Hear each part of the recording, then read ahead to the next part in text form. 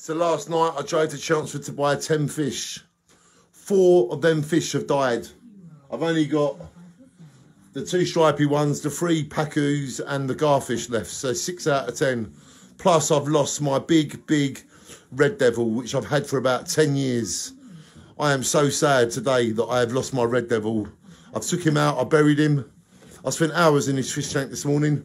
I don't like to make films about tragedy, but this is a fish tragedy. And I have lost about five to six fish over the last 12 hours.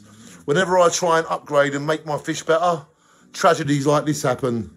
It won't put me off though, but this is a proper sad day today for the fish.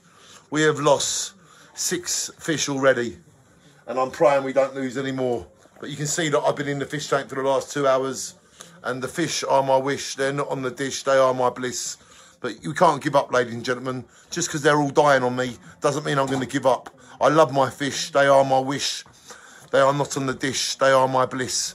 I have lost seven fish, six, seven fish over the last 12 hours. But I will carry on. It's not self pity, it's my love for animals. Shine on.